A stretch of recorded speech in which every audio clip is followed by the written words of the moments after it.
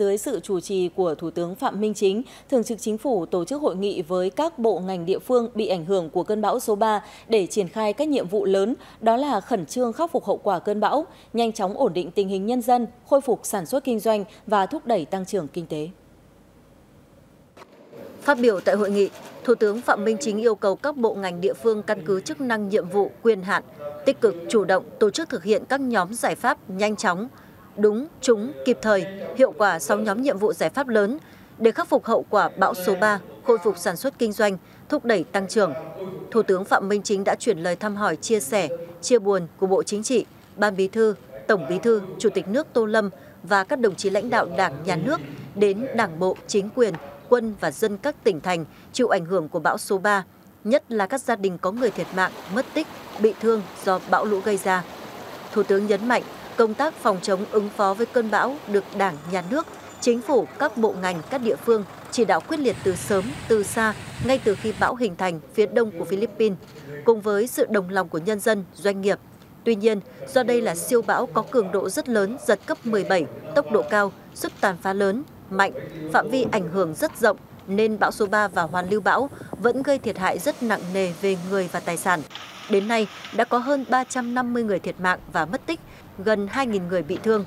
Tại hội nghị, các đại biểu đề xuất cùng với tiếp tục tìm kiếm người mất tích, nỗ lực cung cấp các dịch vụ phục vụ nhu cầu thiết yếu cho người dân vùng bị ảnh hưởng bởi bão lũ, nhất là nơi bị sạt lở ngập lụt, khôi phục hoạt động của các trường học trạm y tế để sớm đón học sinh trở lại trường học, bảo vệ sức khỏe người dân, tổ chức vệ sinh môi trường, phòng chống dịch bệnh, khôi phục lại giao thông và các công trình hạ tầng, tập trung đảm bảo an ninh an toàn, an dân, hỗ trợ an sinh xã hội, tăng cường công tác nắm tình hình, đảm bảo giữ vững an ninh trật tự, an toàn xã hội trên địa bàn. Đặc biệt, đề nghị tiếp tục lo chỗ ở cho người bị mất nhà cửa, ra soát di rời người dân vùng có nguy cơ cao tới nơi sinh sống an toàn, có chính sách về tài chính, thuế, phí, hỗ trợ người dân, doanh nghiệp, địa phương khắc phục hậu quả, ổn định đời sống, sản xuất và khôi phục hạ tầng bị hư hại. Báo cáo Thủ tướng Chính phủ và các đồng chí và các địa phương, bây giờ chúng ta phải rào soát cái số người dân, những số hộ gia đình bị mất. Nhà không có nơi ở. Thì chúng tôi cũng đã chỉ đạo công an các đơn vị địa phương trên tinh thần như thế này để giả soát và chúng ta sẽ triển khai ngay những cái làm nhà mà lực lượng công an chúng tôi đã từng làm rất nhanh và để làm sao đảm bảo cái cuộc sống cho người dân. Bộ Công an cũng sẵn sàng vận chuyển và cung cấp đến cho người dân mà đói mà do ảnh hưởng. Do vậy, đề nghị bổ sung cho chúng tôi gạo từ dự trữ và anh em chúng tôi cũng sẽ chuyển đến tận tay những người dân từ cơ sở. Thì báo cáo Thủ tướng cái này mới nhanh và gọn được. Căn cứ chỉ đạo của Thủ tướng thì Lào Cai đã phối hợp với Quỹ Tấm Lòng Việt của Đài truyền hình Việt Nam đã quyết tâm tái thiết lại cái thôn Lang Nổ và không những thế mà còn tái thiết cả cái thôn tại ờ, Nộng Tông 15 hộ cũng bị mất hoàn toàn. Hiện nay chúng tôi cũng đang vẫn đang tìm kiếm. Hiện nay sáng nay thì hai máy xúc với đi vào được đến nơi để tiếp tục tìm kiếm 8 người còn mất tích ở đó. Và chúng tôi quyết tâm làm cả hai thôn này trước 31 tháng 12 năm 2024. Thời gian tới, Thủ tướng nhấn mạnh các mục tiêu lớn đó là không để người dân nào bị thiếu ăn, thiếu mặc, đói rét, thiếu nước sạch, thiếu chỗ ở, các sinh hoạt thiết yếu hàng ngày, khẩn trương khắc phục hậu quả siêu bão, nhanh chóng ổn định tình hình cho nhân dân về tinh thần và vật chất, khôi phục hiệu quả sản xuất kinh doanh, kiểm soát tốt lạm phát và phấn đấu tăng trưởng cả năm khoảng 7%, bảo đảm ổn định chính trị, trật tự an toàn xã hội cho nhân dân, giữ môi trường hòa bình ổn định cho phát triển. Đến 14 giờ ngày hôm nay, lực lượng tìm kiếm cứu nạn cứu hộ tiếp tục tìm thấy hai thi thể nạn nhân vụ xe khách, xe ô tô con và nhiều xe máy bị vùi lấp cuốn trôi sau sạt lở ở huyện Nguyên Bình, tỉnh Cao Bằng. Như vậy là đến thời điểm hiện tại, tổng số người thiệt mạng tại điểm này là 32 người, trong đó có thi thể được tìm thấy cách hiện trường khoảng 40 cây số. Qua giả soát, cơ quan chức năng tỉnh Cao Bằng xác định còn hai người mất tích, lực lượng chức năng đang tích cực tổ chức tìm kiếm. Như vậy là tính đến 17 giờ 30 phút ngày hôm nay, bão số 3 và hoàn lưu bão đã khiến 330 người thiệt mạng và mất tích, trong đó có 292 người thiệt mạng. Hiện tại ở thôn Làng Nủ, xã Phúc Khánh, huyện Bảo Yên, tỉnh Lào Cai, hơn 250 cán bộ chiến sĩ cảnh sát cơ động và lực lượng tại chỗ vẫn đang nỗ lực chạy đua với thời gian để cứu nạn, tìm kiếm các nạn nhân. Ngày hôm nay, 100 cán bộ chiến sĩ từ Trung đoàn Cảnh sát cơ động thủ đô và Bộ Tư lệnh Cảnh sát cơ động Bộ Công an cùng với hơn 150 người là lực lượng tại chỗ đã tới thôn Làng Nủ, xã Phúc Khánh, huyện Bảo Yên, tỉnh Lào Cai cùng với các lực lượng vũ trang tiếp tục tìm kiếm các nạn nhân còn mất tích. Công tác cứu hộ cứu nạn tiếp tục diễn ra trong điều kiện thời tiết nắng nóng nên đất bị khô và dần nén chặt, khiến cho việc dò tìm tung tích nạn nhân ngày càng thêm khó khăn. Tại thôn Làng Nủ, các lực lượng hiện vẫn duy trì 17 tổ cơ động tìm kiếm dọc theo suối và 4 vị trí quan sát để cảnh giới, báo động, bảo đảm an toàn cho lực lượng tìm kiếm. Theo Ban chỉ đạo tìm kiếm cứu hộ tại Làng Nủ, xã Phúc Khánh thì đến đầu giờ chiều ngày hôm nay ghi nhận thêm 18 người đã cho là mất tích, được xác minh là còn sống. Như vậy đến thời điểm này tại Làng Nủ ghi nhận có 52 người thiệt mạng và 14 người mất tích. Chiều nay, lãnh đạo tỉnh Lào Cai đã đi kiểm tra, nghiên cứu cụ thể, sau đó trao đổi cùng với lãnh đạo huyện Bảo Yên, các chuyên gia có kinh nghiệm và chốt phương án chọn địa điểm để xây dựng tái định cư thôn làng nủ mới, cách thôn làng nủ cũ bị lũ cuốn trôi khoảng 2 cây số. Đây là khu vực rộng rãi, có địa hình cao, an toàn, thuận lợi bố trí hạ tầng giao thông điện nước.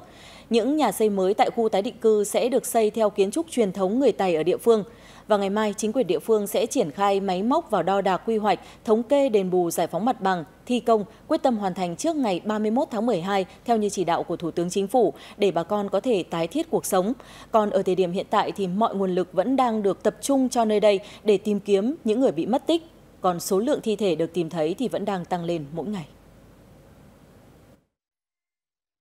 Thôn Làng Nủ, huyện Bảo Yên, tỉnh Lào Cai. Khi những hộ dân vẫn đang xếp hàng chờ nhận sự hỗ trợ từ phía những tấm lòng hảo tâm của người dân cả nước chuyển đến đồng bào nơi đây, thì vẫn có một người đàn ông, một mình, lặng lẽ, ngóng chờ từng thông báo, sau từng nhát cuốc, từng gầu máy xúc, ở phía xa. Cái quà kia em không lấy đâu. Lấy về bây giờ các quà các thứ mới về các con có đâu mà ăn. Một luồng trắng xóa nó ủ phát, nó không đến tầm 5 phút mà cả nửa làng đi hết. Em định nhảy xuống theo suối nhưng mà họ ngăn. Xót xa vô cùng, muốn nhảy đi tìm vợ, tìm con tìm mẹ thôi. Mẹ này tìm thấy này, vợ với hai đứa con, còn một đứa con không tìm thấy.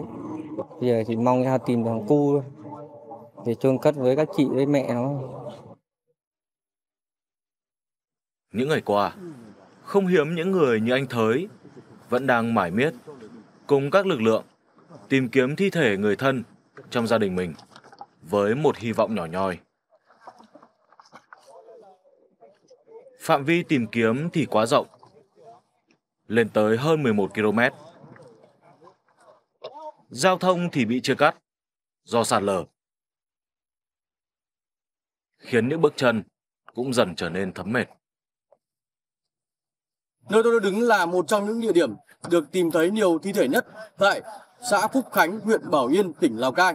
Và đến tính đến thời hiện tại thì à, lực lượng công an cùng với các à, lực lượng chức năng khác và người nhà nạn nhân vẫn đang tiếp tục công tác tìm kiếm ngày đêm. Cái địa bàn à, vô cùng là rộng. Đấy, ờ, từ cái vị trí mà lạn xuống đến cái vị trí chúng tôi đang tìm kiếm là khoảng uh, gần 8 cây số. Cái uh, khu vực mà chúng tôi tìm kiếm là hiện tại đi lại ra rất là khó khăn. Đấy, anh em uh, hành quân là phải mấy giờ đồng hồ thì mới vào được đến cái vị trí mà để chúng tôi bắt đầu triển khai công việc. Đấy, anh em chúng tôi là cũng uh, chia nhau ra giải theo đội hình hàng ngang Đấy, đi đâu làm theo đội hình khuôn chiếu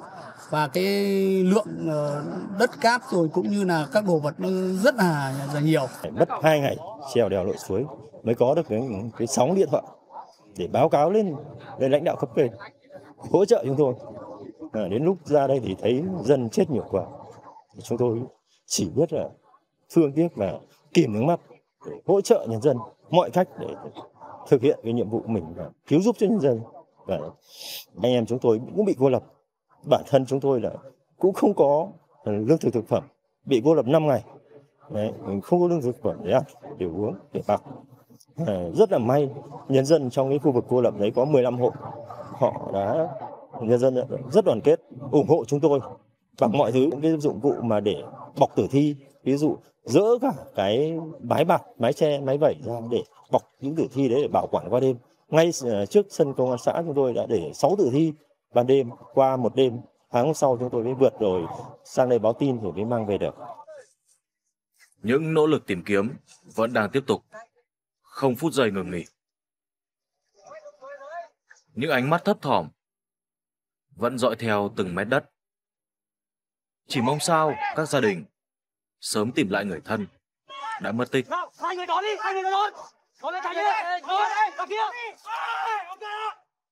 Thưa quý vị, như tin đã đưa, nhận lời mời của ngài Volfovic Alexander Grigorievich, thư ký Hội đồng An ninh Quốc gia Cộng hòa Belarus, đại tướng Shoigu Sergei Kuzugetovic, thư ký Hội đồng An ninh Liên bang Nga, đoàn đại biểu cấp cao Bộ Công an Việt Nam do Thượng tướng Lương Tam Quang, Ủy viên Bộ Chính trị, Bộ trưởng Bộ Công an làm trưởng đoàn, đã sang thăm và làm việc tại Cộng hòa Belarus và Liên bang Nga từ ngày 7 đến ngày 13 tháng 9. Sau đây là tổng hợp của Chí Trung, phóng viên truyền hình Công an Nhân dân theo đoàn công tác. Tại Cộng hòa Belarus, Tổng thống Alexander Lukashenko bày tỏ vui mừng trước những thành tựu mà Việt Nam đạt được trên các lĩnh vực, gửi lời chào trân trọng, lời chúc tốt đẹp nhất tới Tổng bí thư Chủ tịch nước Tô Lâm và các nhà lãnh đạo Việt Nam,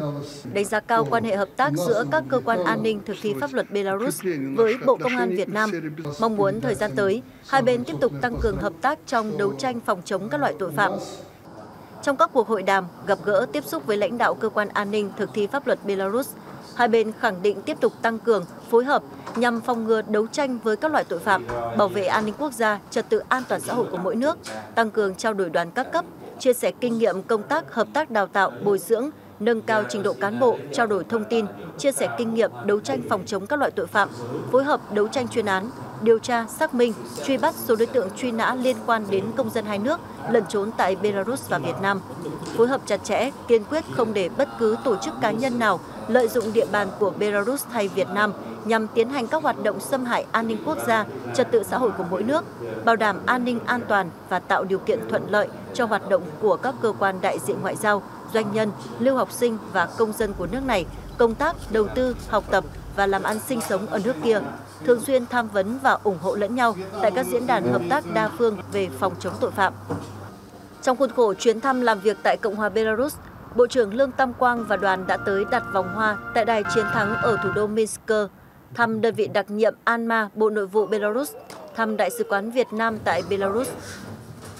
Tại Liên bang Nga, Bộ trưởng Lương Tam Quang đã dự và phát biểu tại hội nghị lãnh đạo cấp cao phụ trách an ninh các nước. Trong đó, Bộ trưởng đề nghị lãnh đạo cấp cao phụ trách an ninh các nước thành viên BRICS và các nước Nam bán cầu quan tâm một số giải pháp như ưu tiên xây dựng lòng tin chiến lược, hoàn thiện khuôn khổ hợp tác an ninh giữa các nước, nhất là trong lĩnh vực an ninh mới nổi, nâng cao tính hiệu lực hiệu quả của các cơ chế quản trị toàn cầu, nhằm ứng phó hiệu quả trước những thách thức đối với an ninh, ổn định của khu vực và quốc tế, tích cực chia sẻ thông tin, đẩy mạnh hợp tác chia sẻ thành tiệu khoa học công nghệ, đào tạo nguồn nhân lực và huy động nguồn lực tài chính chung phục vụ phòng ngừa và giải quyết các mối đe dọa an ninh thách thức mang tính toàn cầu. Bên lề hội nghị, Bộ trưởng Lương Tam Quang đã có các cuộc gặp song phương với trưởng đoàn các nước, trong đó có Cuba, Belarus và Ấn Độ để trao đổi hợp tác trong thời gian tới. Trong thời gian thăm và làm việc tại Nga, Bộ trưởng Lương Tam Quang đã có cuộc hội đàm gặp gỡ tiếp xúc và làm việc với thư ký Hội đồng An ninh Liên bang Nga, với Bộ trưởng Bộ Nội vụ và Giám đốc Cơ quan An ninh Liên bang Nga để trao đổi hợp tác giữa hai bên trong thời gian tới. Từ những kết quả hợp tác hai bên thống nhất, tiếp tục chú trọng trao đổi đoàn cấp cao, tiếp tục ủng hộ lẫn nhau tại các diễn đàn, cơ chế hợp tác an ninh, chính trị đa phương và quốc tế, nhất là cơ chế tham vấn lãnh đạo cấp cao an ninh ASEAN-Nga, tiếp tục triển khai có hiệu quả chương trình phối hợp hành động giữa Bộ Công an nước Cộng hòa xã hội chủ nghĩa Việt Nam và Bộ Nội vụ Liên bang Nga giai đoạn 2022-2024, tiếp tục thúc đẩy hợp tác cùng chia sẻ trong lĩnh vực phòng chống tội phạm. Đồng thời các đơn vị chức năng của hai bộ cần tiếp tục trao đổi thông tin tội phạm, điều tra, xử lý các vụ việc liên quan đến hai bên, hỗ trợ truy bắt, trao trả các đối tượng truy nã phù hợp với quy định pháp luật của hai bên, nghiên cứu khả năng thiết lập cơ chế phối hợp trong công tác quản lý doanh nhân, lưu học sinh và công dân của nước này công tác học tập và làm ăn sinh sống ở nước kia, đảm bảo quyền, lợi ích hợp pháp của công dân hai nước, cũng như chủ động phòng ngừa các hoạt động phạm tội, vi phạm pháp luật, gây hại cho an ninh quốc gia của Việt Nam và Liên bang Nga. Trong khuôn khổ chuyến thăm làm việc tại Liên bang Nga, Bộ trưởng Lương Tam Quang và đoàn đã tới đặt hoa tại tượng đài Chủ tịch Hồ Chí Minh tại thành phố Saint Petersburg, thăm Đại sứ quán Việt Nam tại Nga. Tiếp theo mời quý vị cùng điểm lại một số hoạt động nổi bật của Bộ Công an trong tuần vừa qua.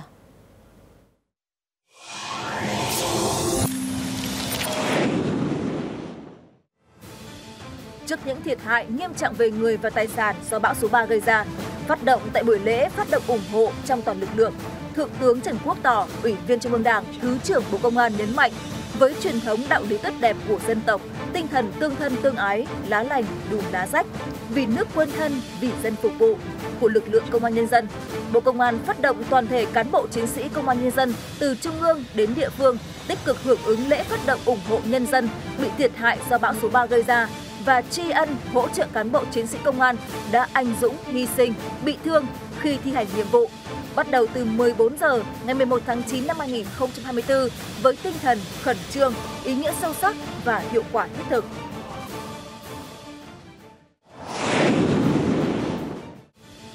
Phát biểu tại lễ khai giảng năm học 2024-2025 của Trường Đại học Phòng cháy chữa cháy, Thượng tướng Phó Giáo sư Tiến sĩ Trần Quốc Tỏ, Ủy viên Trung ương Đảng, Thứ trưởng Bộ Công an nhấn mạnh, nhà trường cần chủ động áp dụng phương pháp dạy học và quản lý giáo dục tiên tiến, coi đây là khâu then chốt để nâng cao chất lượng đào tạo,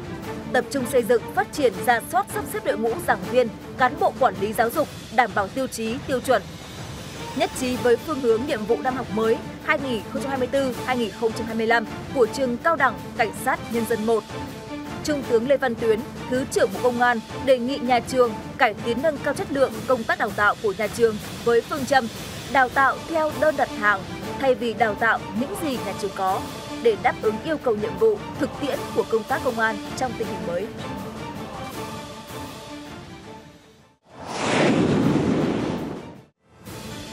Tại buổi tiếp, đoàn đại biểu Bộ Công nghệ và Truyền thông nước Cộng hòa Dân chủ Nhân dân Lào sang thăm và làm việc tại Trung tâm Dữ liệu Quốc gia, Trung tướng Nguyễn Văn Long, Thứ trưởng Bộ Công an nhấn mạnh, kết quả buổi làm việc là cơ sở để đoàn có cái nhìn tổng quan về vai trò, tầm quan trọng của dữ liệu dân cư, là nền tảng giúp Lào đẩy nhanh công tác số hóa, chuyển đổi số.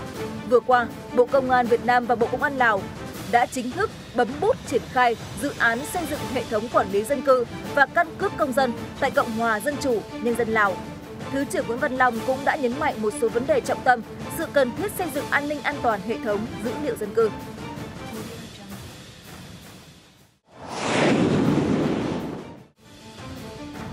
Qua tại tỉnh Cà Mau, Bộ Công an tổ chức hội thảo khoa học cấp bộ thắng lợi kế hoạch phản gián CM12, trí tuệ, bản lĩnh và sự sáng tạo của Công an Nhân dân Việt Nam.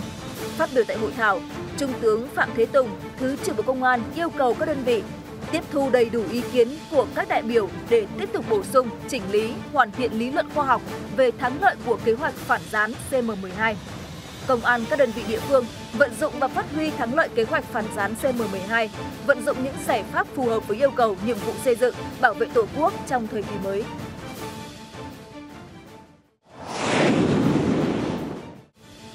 Tại tỉnh An Giang, Trung tướng Phạm Thế Tùng, Thứ trưởng Bộ Công an đã chủ trì hội nghị về công tác đảm bảo an ninh trật tự vùng đồng bằng sông Cửu Long và phụ cận. Nhấn mạnh thời gian tới cần thực hiện hiệu quả công tác quản lý nhà nước về an ninh trật tự, giữ vững an ninh trật tự vùng đồng bằng sông Cửu Long và phụ cận trong mọi tình huống, không để xảy ra bị động bất ngờ, đẩy mạnh tấn công chấn áp tội phạm, đảm bảo cao nhất an ninh trật tự. Chuẩn bị cho Đại hội Đảng bộ các cấp tiến tới Đại hội lần thứ 14 của Đảng.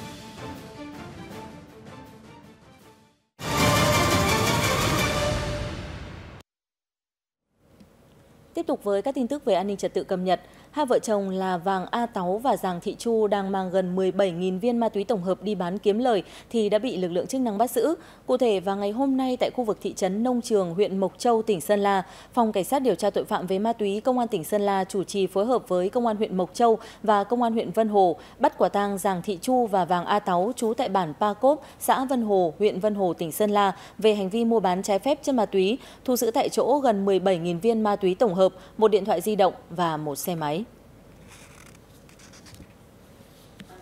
Công an tỉnh Đồng Nai vừa khởi tố vụ án khởi tố 15 bị can để điều tra về các hành vi sử dụng người dưới 16 tuổi vào mục đích khiêu dâm, dâm ô, mua bán người dưới 16 tuổi và thu thập, tàng trữ, trao đổi, mua bán trái phép thông tin tài khoản ngân hàng. Cầm đầu nhóm đối tượng này là Nguyễn Xuân Việt. Công an tỉnh Đồng Nai vừa phối hợp với Cục Cảnh sát Hình sự Bộ Công an bắt Nguyễn Ngọc Duy, Nguyễn Thị Thu Hà, cả hai cùng chú tại tỉnh Đồng Nai và Huỳnh Ngọc Thuận quê ở tỉnh Tiền Giang, Nguyễn Xuân Việt quê ở thành phố Hồ Chí Minh đang có hành vi sử dụng người dưới 16 tuổi vào mục đích khiêu dâm, mua bán người dưới 16 tuổi tại cơ sở massage ở phường Tân Mai, thành phố Biên Hòa. Tại đây, cơ quan công an cũng bắt giữ 10 đối tượng có hành vi mua bán trái phép tài khoản ngân hàng, thu giữ nhiều tăng vật. Bước đầu cơ quan công an xác định số tiền các đối tượng mua bán hơn 2.000 tài khoản ngân hàng, thu lợi bất chính là hơn 2,8 tỷ đồng.